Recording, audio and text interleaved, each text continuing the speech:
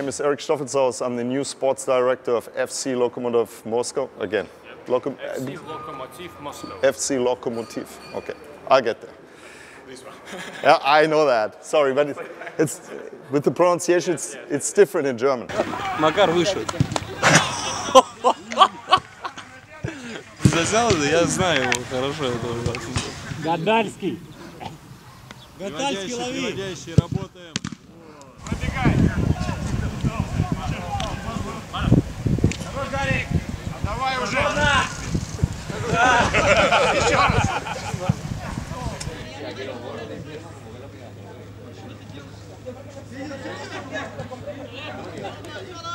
Нашего правого фланга прорывается.